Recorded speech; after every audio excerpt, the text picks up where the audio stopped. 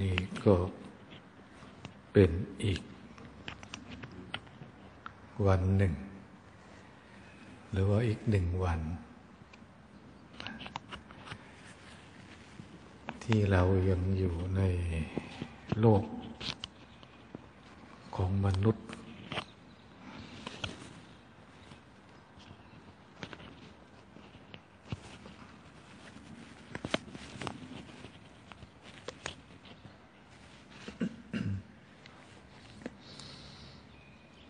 วันนี้ ก็อาทิตย์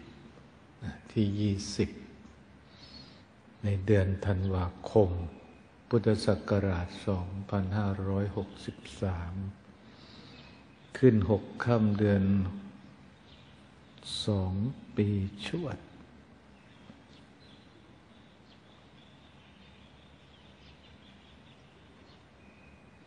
ใช่ไหมธันวาก็นับของ โลกก็เดือนสิบสองนี่ของพระ ขึ้นไปถึงเดือนสองหรือ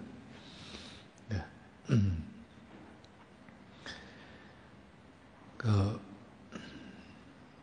จริง ๆที่ได้เกริ่นไว้เบื้องต้น เราใช้ชีวิตแค่วันเดียว หายใจอยู่ก็วันเดียว ใช้อยู่ก็วันเดียว ทุกอยู่ก็วันเดียว สุขอยู่ก็วันเดียว แล้วก็มาสะสมแต้มเอา หลายหลายวัน ก็นับว่าเป็นอาทิตย์หลายหลายอาทิตย์ก็นับเป็นเดือน หลายหลายเดือนก็นับเป็นปี แล้วก็ทบปีไปก็นับเป็นทศวรรษ สัตวัตก็ว่ากันไป แต่ถ้าเรากำหนดอะไรได้ไหมว่าวันนี้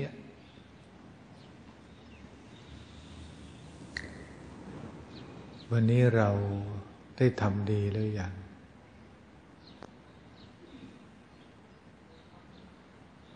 วันนี้เราได้ทำประโยชน์หรือยัง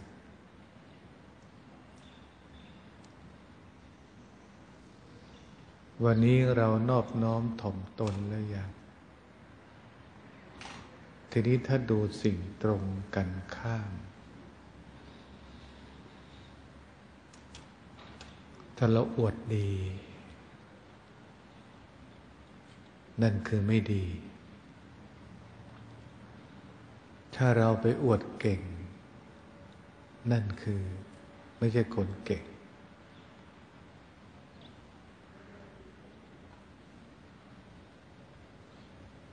ถ้าเราไปอวดรู้ก็ไม่ใช่ผู้มีปัญญา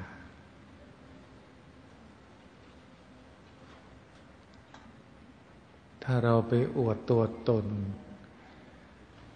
เราก็ยิ่งห่างไกลจากธรรมะ เพราะเราไม่ได้ลดละ ในขันธะมานะที่เราฝังอยู่ตั้งแต่ ไม่รู้กี่ชาติมาแล้ว ก็มากำหนดดูว่า วันนี้เรามีความดีอะไรบ้าง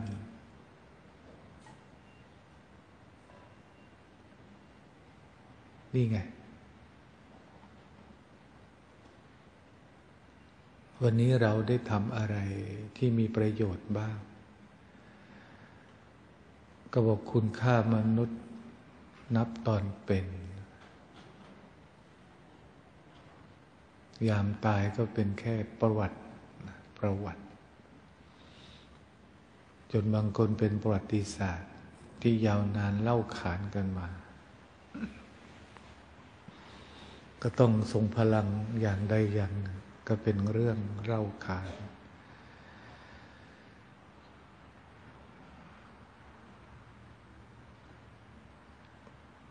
หลายคน ยังไม่เข้าใจครับว่าตัวตน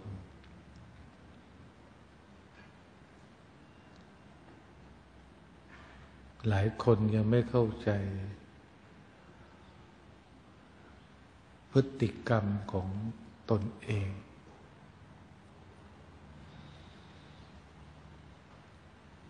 ฉะนั้นการอบรมจิต การเจริญสติ แล้วการได้ใคร่ครวญพิจารณา ในรูปนามธาตุขันธ์กายจิตชีวิตกับธรรมะว่าเราได้ผสมผสานกันเพียงไหน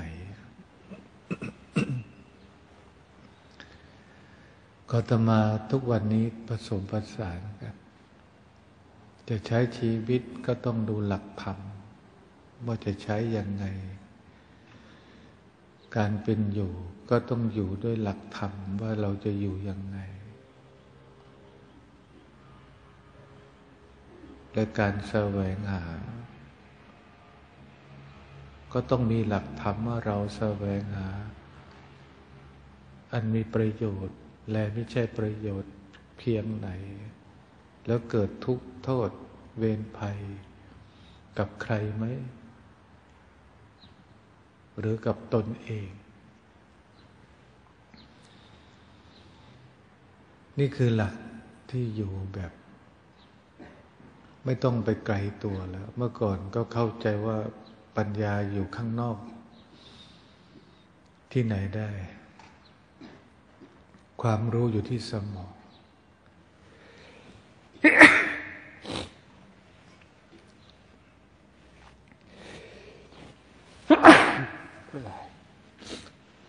อากาศเปลี่ยนลม ความรู้อยู่ที่สมอง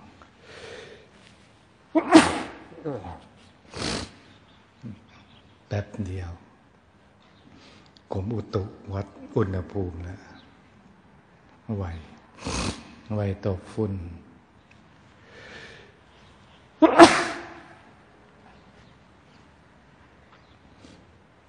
ก็บอกความ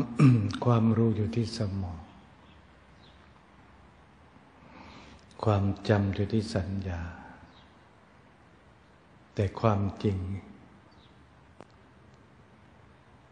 อยู่ในตัวเราเองทำหรือไม่ทำใช่หรือไม่ใช่ เราเป็นคนตอบที่ชัดเจนที่สุด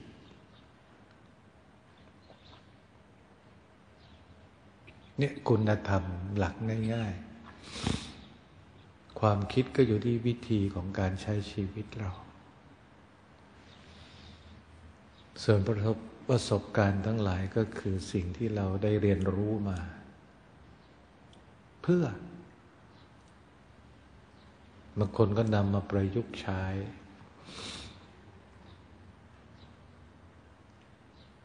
บางคนก็นำมาเป็นบท บทเรียนตัวเอง สอดใจ เพราะว่าความผิดพลาดก็เป็นครูอาจารย์ มนุษย์อย่างดี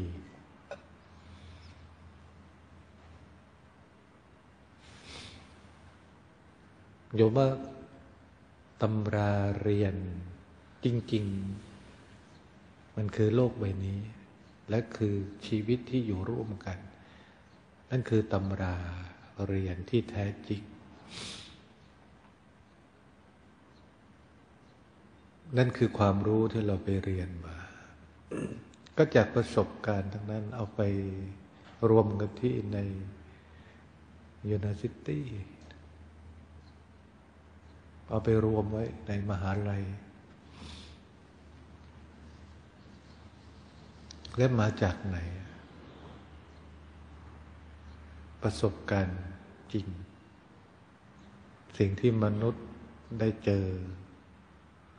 ทับถมกันมานับร้อยพันปี จึงเกิดประเพณี วัฒนธรรม ขนบธรรมเนียมจารีต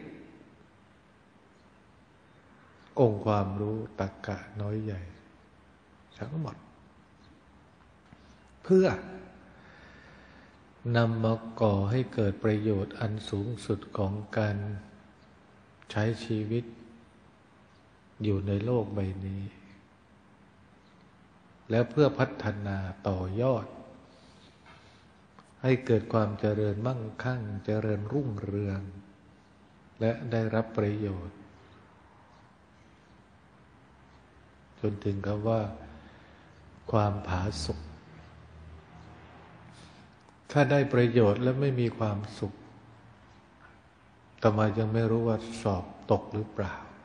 หรือสอบขึ้นหรือไม่ หลายท่านหลายคนได้ประโยชน์ แต่ไม่มีความสุข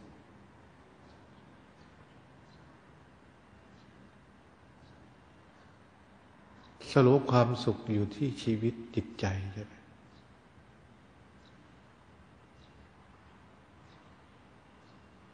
แต่ประโยชน์ ที่เราได้มาเป็นวัตถุสิ่งของ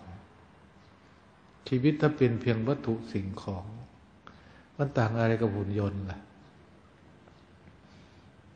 เขาบอกให้ฆ่าก็ฆ่าใช่ไหมเขาบอกให้ลุกก็ลุก เขาบอกให้นอนก็นอน เขาบอกให้เป็นมือสังหารก็สังหาร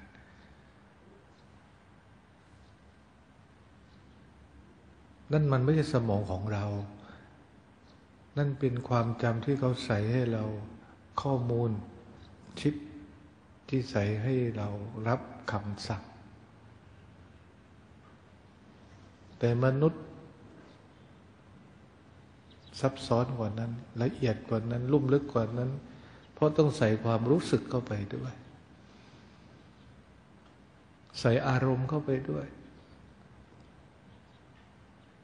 แล้ว คำว่าปัญญาไม่ใช่สิ่งที่เกิดขึ้น แต่ปัญญาคือก้าวใหม่ของชีวิต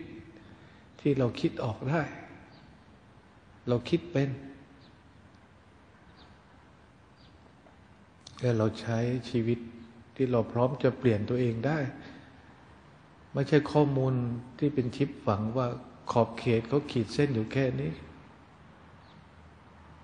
จึงเรียกว่านั่นคือสมองกล แต่ไม่ใช่สมองมนุษย์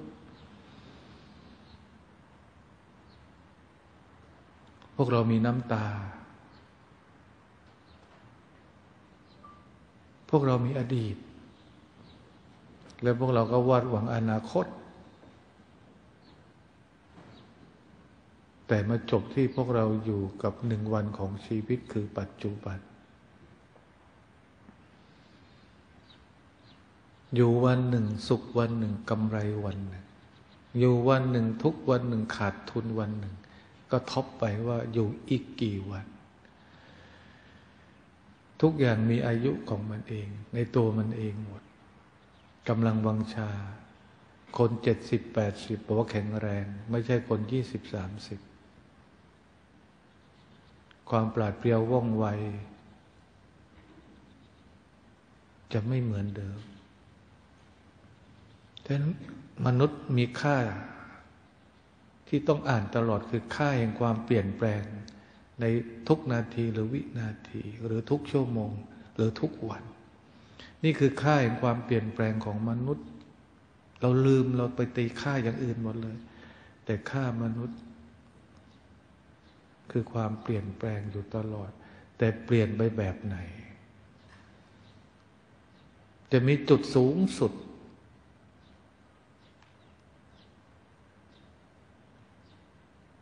แล้วจะค้างได้อยู่แค่ไหน แล้วสุดท้ายก็ค่อยๆ ถอยลง 9 8 7 6 5 4 3 2 1 0 นี่คือความจริง เมื่อถึงจุดนี้พระพุทธเจ้า ผู้ตัดสรู้ในหลัก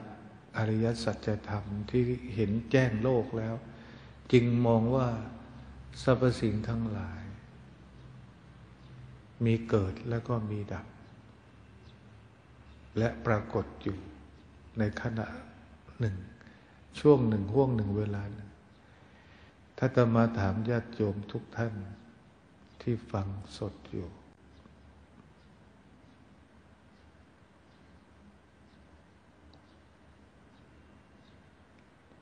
คนเมื่อร้อยปีก่อนไปไหนหมดแล้ว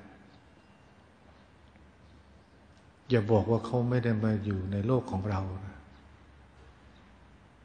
ปู่ย่าตาทวดอากง อาม่า ไปไหนหมด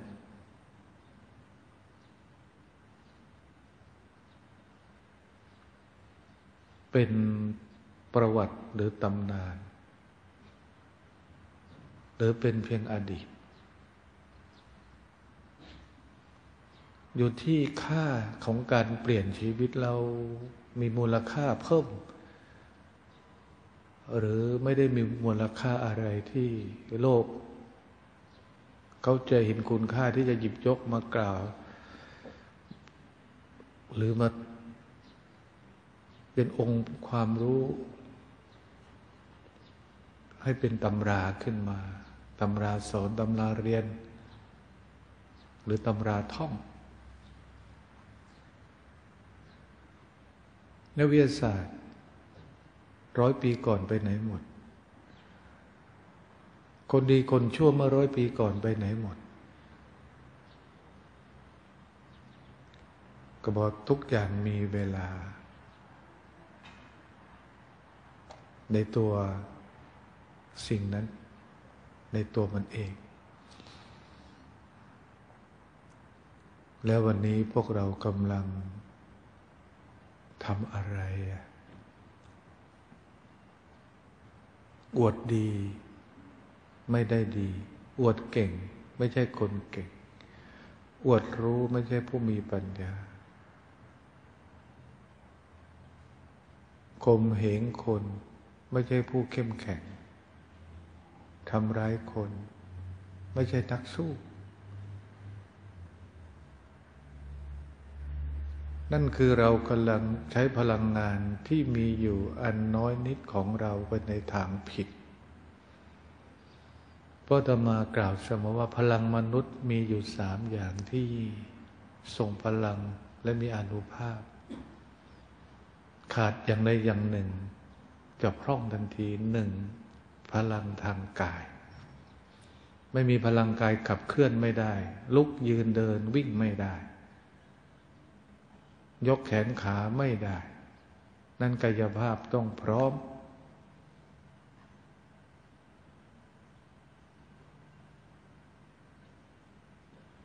เมื่อใครกายภาพนี้ไม่ไหว เราสูญเสีย เราสูญเสียไปแล้วหนึ่งอย่างสองพลังจิต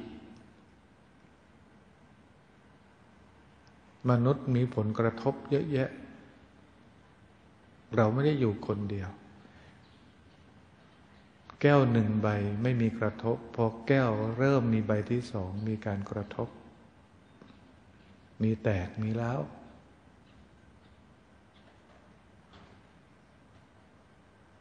ใบเดียวอย่างมากก็แค่ล่วงหล่น แตกด้วยตัวเอง ฉะนั้นพลังจิตชีวิตต้อง มี การกระทบกระทั่งแดกดันเจอปัญหาอุปสรรคมากมาย เราจึงต้องมีสมาธิ เราจะต้องฝึกสมาธิ เราจึงต้องมีคำว่าสะกดจิต ตัวเอง เพื่อเราจะควบคุมสิ่งชั่วร้ายนั้นไม่ให้เกิดขึ้นในจิตเรา แล้วก็รักษาสิ่งดีงามให้คงอยู่และสืบต่อไปอีกฉะนั้นคนไม่มีพลังจิต คุณจะอ่อนไหว และไม่มีภูมิอะไรเลยในจิตนี้ แล้วสุดท้ายเราไม่มีจุดของตัวเองเขาเรียกเสียศูนย์สาม ลังแห่งสติปัญญา นี่คือพลังที่สูงสุด คิดได้คิดเป็นคิดออกสามคิดนี้อยู่ไหนมีคุณค่าที่ตรงนั้น สามคิดนี้ ต่อให้อ่านไม่ออกหนังสือ ภาษาไหนเราบอกเราฟังไม่เป็น แต่เราคิดเป็น วิทยาศาสตร์เกิดจากความคิด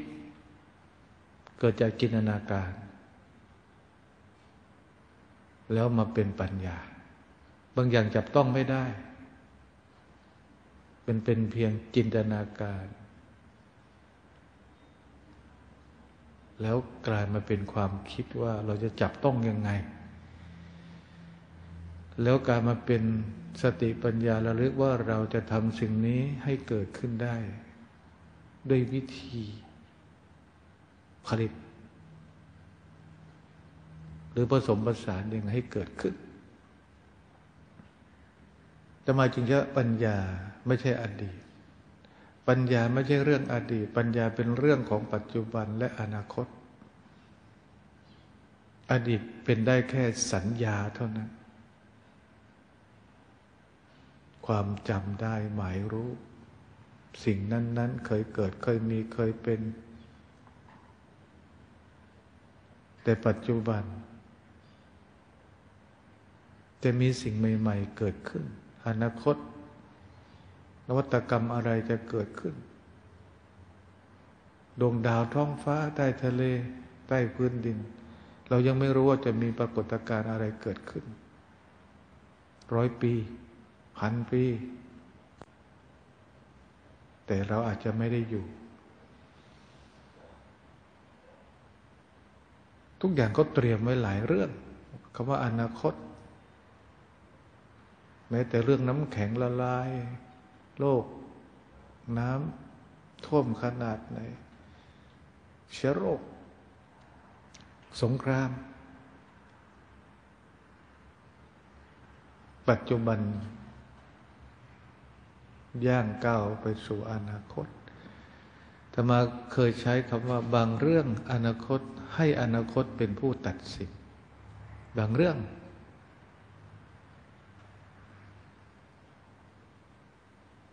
แต่ปัจจุบันเราเป็นผู้ตัดสิน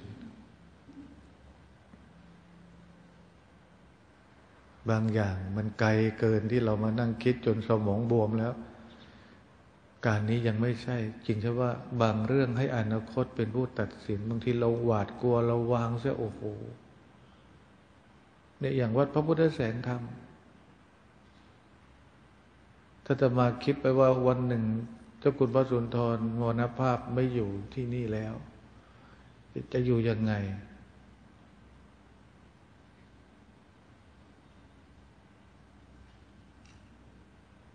ก็บอกว่าอนาคตบางเรื่องให้อนาคตเป็นผู้ตัดสิน แต่ปัจจุบันเราเป็นผู้ตัดสิน เมื่อถึงเวลา สิ่งเปลี่ยนก็จะมา แต่จะเปลี่ยนไปในด้านไหน ไม่ว่าที่ไหน โรงงานไหนกิจการไหน เขาก็กลัวคำนี้ รุ่นต่อไปจะเดินตาม พ่อแม่ ที่ทำไว้ให้ไหมบางคนบอกไม่เลยพ่อทำมาก็เป็นเกือบตายทั้งชีวิต คิดว่าลูกจะสืบต่อ ไม่ลูกไม่นั่งขายยา ฉันจะทำอย่าง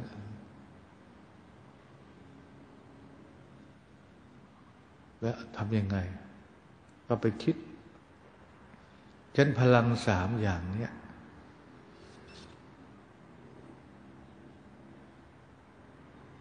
เราขาดจุดไหนบ้าง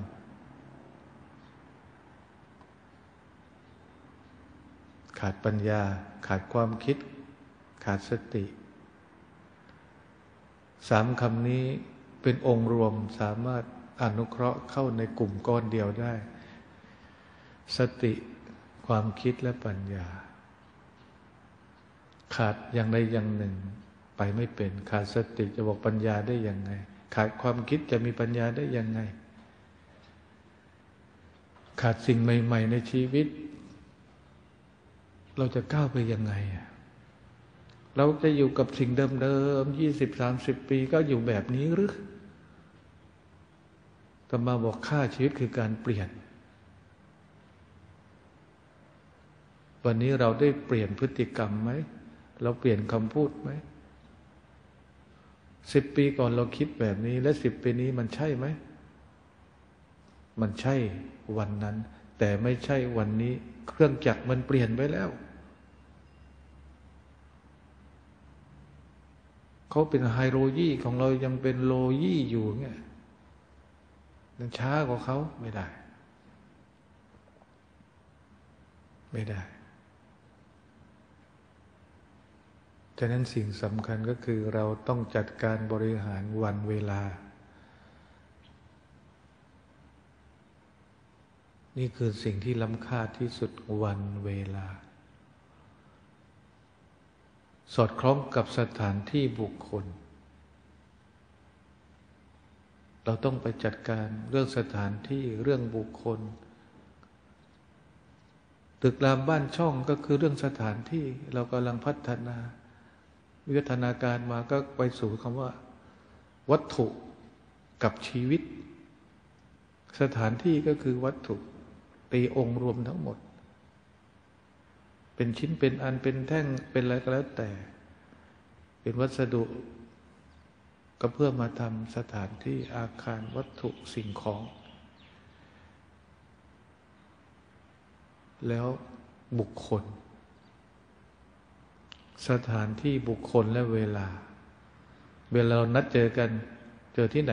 สถานที่ไหน บุคคลไหน เวลาไหน ถูกไหม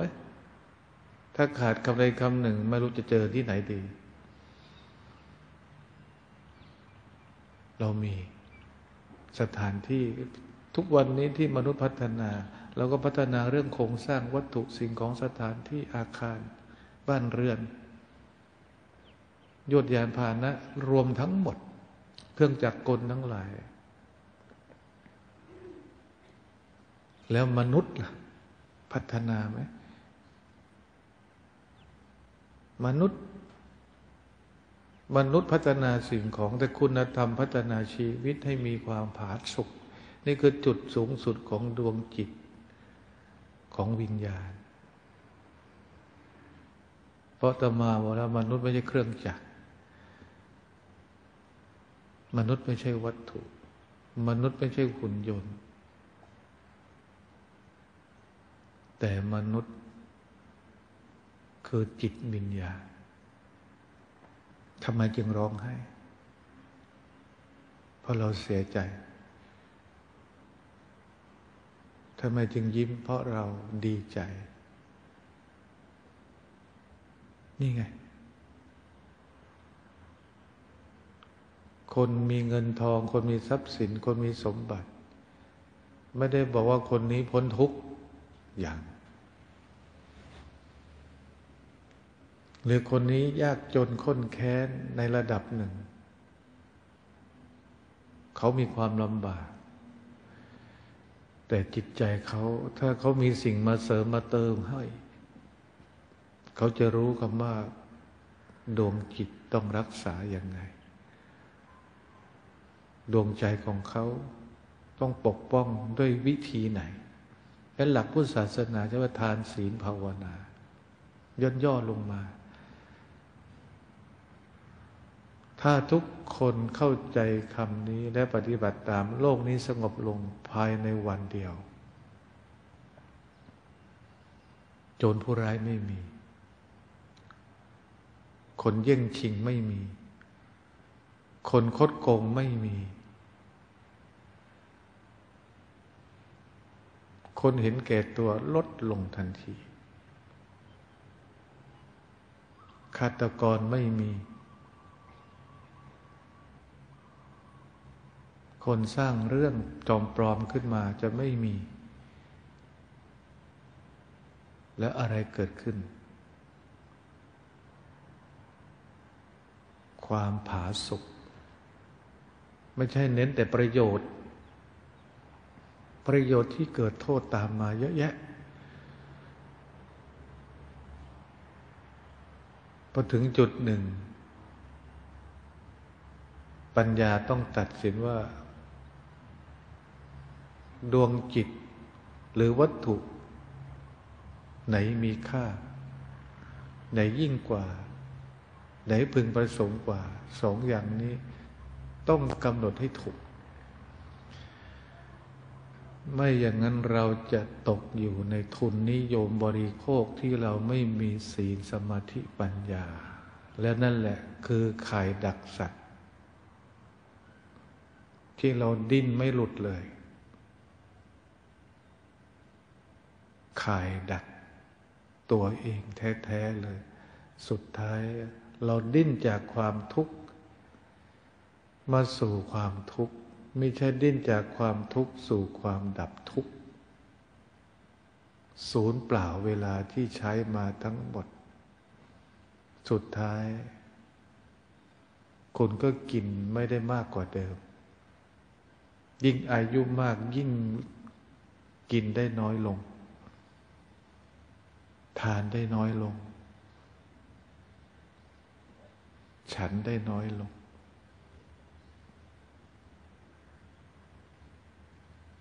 ทุกอย่างชีวิตจะเหลือน้อย ถึงจะมีทรัพย์สินเยอะแต่ชีวิตเหลือน้อย ฟังให้ชัด ถึงจะมีวัตถุมากมายแค่ไหน แต่ชีวิตเหลือน้อย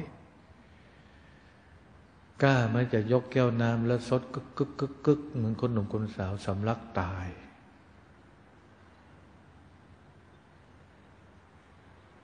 รูปกายเขาไม่รู้หรอกว่าคุณท่านเป็นใคร เขาไม่รู้หรอก เขามีหน้าที่คือแก่เจ็บตาย นี่ไง หน้าที่ของเขา เมื่อถึงเวลา จึงถามว่าคนร้อยปีก่อนไปไหน แก่เจ็บตาย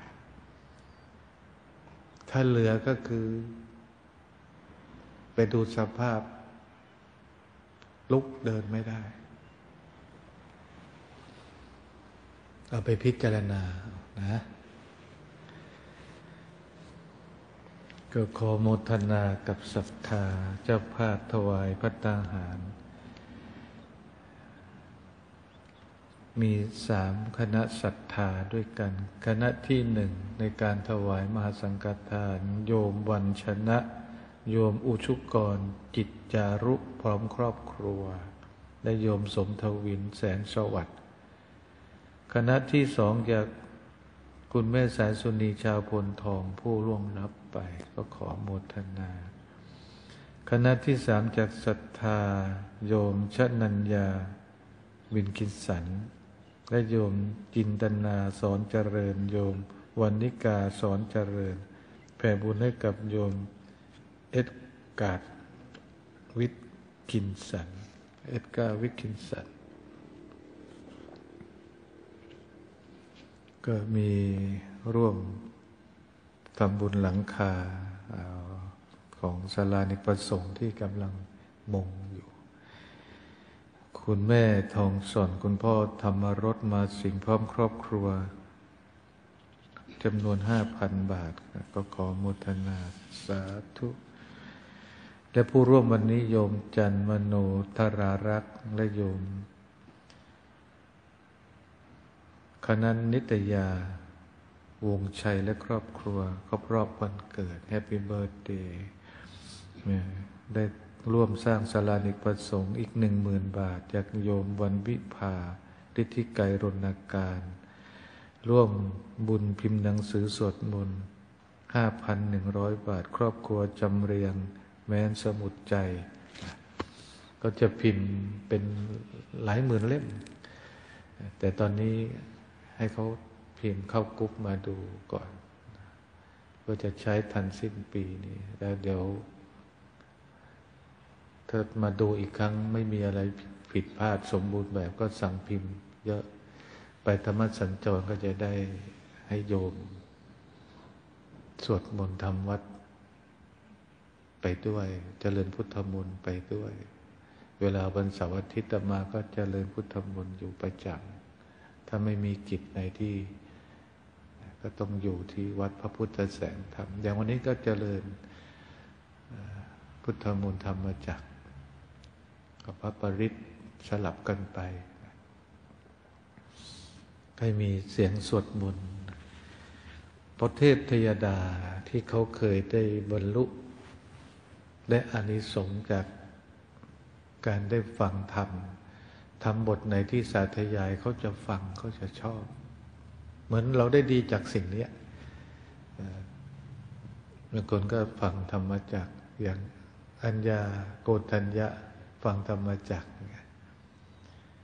เยอะผู้ฟังและเราเจริญพุทธมนต์แล้วก็นั่นก็คือ จิตเราก็ได้สมาธิในการ ในขณะที่เราสวดไปด้วย กุศลก็เกิดไปด้วย เราไม่ต้องไปคิดเรื่อง ที่เป็นอกุศลหรือวุ่นวายอะไรในช่วงนั้นเราก็ได้เต็มๆแล้วก็สะสมแต้มไปเรื่อย ก็คือเราทำทำบ่อยๆ ก็จะซึมซับซึมซับบ่อยๆ ก็เป็นนิสัย พอนิสัยเราเกิดแล้ว เราก็จะเกิดคำว่าฉันทะ ในสิ่งนั้นทำแล้วมีความสุข เวลาพระเจริญพุทธมนต์ก็มีความสุขญาติโยมก็มีความสุข ถึงบางคนต้องโหตื่นมาทำวัดสวดมนต์บางคนตักบาตรทุกวันขาดวันไหนก็กับขาดอะไรไป หรือบางคนก็ฟังธรรมอยู่ตลอด อย่างบางคนนี่จ้องธรรมสัญจรแล้ววันนี้ ไม่ได้ดูไม่ได้ชมเหมือนขาดอะไรบางอย่างในชีวิต จะคุณหายไปไหนเนี่ยสองวันสามวันแล้ว แต่ใจจริงก็อยากให้พักก็เลยค้านแย้งกันบางคนบอกทำไมที่คุณไม่พักแต่วันนี้รออยู่นะตกลงจะให้ทำหรือให้หยุดกันแน่เดี๋ยวรับพรกันนะ แต่ก็ขอทิ้งท้ายนิดหนึ่ง ให้ดูอย่างผู้มีปัญญา ว่าเราดูแล้ว เราได้สติแล้ว เรามีธรรมะแล้ว เออเราดูว่าอะไรที่เราเห็นในข้อบกพร่อง เรายังบกพร่องไหมหรือมองแล้วเรามองเป็นตัวตนของเราแล้วเรารู้สึกฉุนเฉียวขึ้นมาไอ้นี้ผิดเลยนะต้องมองว่าเออเราจะทำประโยชน์อะไรได้มากกว่านี้ไหมชีวิตเออคนเหล่านี้น่าสงสารนะเออบางคนเขาขาดโอกาสได้โอกาส เราก็จะเห็นหลากหลายยกจะตำหนิไหวหรือ และตัวเราเราไม่ได้มองตัวเอง ตัวไปดูมากลายเป็นเป็นตัวตนของตัวเองไม่ใช่นะอาตมากำลังถ่ายทอด สัจธรรมชีวิตให้เราได้เห็น มุมมองหลากหลาย เขาจะไหวไม่ไหวกราบไม่กราบ เขาจะพูดดีไม่ดี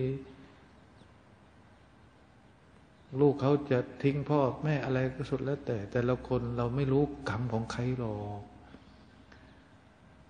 เพียงแต่เราดูแล้วเราพิจารณาว่า เออ สิ่งนี้สอนใจเรานะทำให้เราได้เห็นทำให้เรารู้สึกว่ามันไม่ใช่นะ ไม่ใช่ดูแล้วเราไปโกรธเขาไปเกลียดเขาเรารู้จักเขาหรือ ไปโกรธเกลียดเขาแล้ว ไม่ได้ไม่ได้ ไม่ได้ นั่นคือเป็นการดูที่เรากำลังใช้ตัวตนเข้าไป แต่เราไม่ได้ดูว่า เออเขาเราจะ ไม่ใช่ดูว่าเราดีกว่าเขา เราต้องดูว่าเราจะช่วยอะไรเขาได้บ้าง ไม่ใช่ดูด้วยความอึดอัดขับแค้น เราต้องดูมีจิตอันวางและเมตตา พื่อนร่วมเกิดแก่เจ็บตาย ถ้าไม่ตมาจะไปทำไมแล้วโยมเอ้ยใช่ไหมยังไม่เข้าใจอีกหรือเจตนาครูบาอาจารย์ทำแล้ว อย่าเอาตัวเองไปคอมเมนต์ใน เราต้องมองว่า ที่เขาเป็นอย่างนี้เพราะอะไร เราก็จะได้แนวทางชีวิตว่า เออ เราจะไม่เป็นอย่างนี้นะ เพราะอย่างนี้นี้ที่เขา เจริญ เพราะอย่างนี้ที่เขาไม่เจริญ เพราะอย่างนี้ที่เขาพูดอย่างนี้เขาจึงได้ชีวิตแบบไหน เราแค่รู้ ดูให้เป็นผู้รู้ แต่อย่าดูให้เป็นตัวกูของกู เข้าใจบอเออซ้ำนี่ละ เดี๋ยวเดี๋ยวว่าร้อยเขียดได้เนี่ยตั้งใจรับพร ยะถาวริวังหาปุราปริปุเรนติสาครัง เอวะเมวะอิโตทินังเปตานังอุปกปติอิจิตังปฏิตังตุมหังคิปะเมวะสมิจตุสัพเพปุเรนตุสังกปปัง จันโทปนรโสยะถามณิโชติรโสยะถาวิวัชันตุสัพพโรโกวินาสตุมาเตภวัตวันตรายโยสุขีติขายุโกภวะ อาภิวาดนาสิริสานิจังวุฒาปจายโนจัตตารโอธรรมาวัฏันติงอายุวันโนสุขังภาลังรัตนัตยานุภาเวนะรัตนัตยเตจัสสา ดุขโรคพยาเวราโสกาสตุตุปัตวาอเนกาอันตรายาปิวินาสันตุอาเสสตัวชัยยสิทธิธนังลาภังโสติปะขยังสุขังปะลัง สิริอายุจวันโอจาโภกังวุติจยสวาสัตวัสสะจะอายุจาทิวสิทธิภวันตุเตภวะตุสัมบมังกรัง สัพพุทธานุภาเวนัสดาโสทิภวันตุเตภาวะตุสัพมังกรังรักขันตุสัพเดวตาสัพธรรมานุภาเวนัสดาโสทิภวันตุเต ภาวะตุสัพมังกรังรักขันตุสัพเดวตาสัมปสังขานุภาเวนะสดาโสทิภาวันตุเตนิมนต์พระคุณเจ้าทำพัตกิจฉันพัตตาหาร เจริญพรไม่ชีญาติโยมและศรัทธาเจ้าภาพ ร่วมพิจารณาอาหารและทานเป็นยาอายุวัฒนะเชิญเว้นระยะนะโควิดเริ่มมาแล้วนะ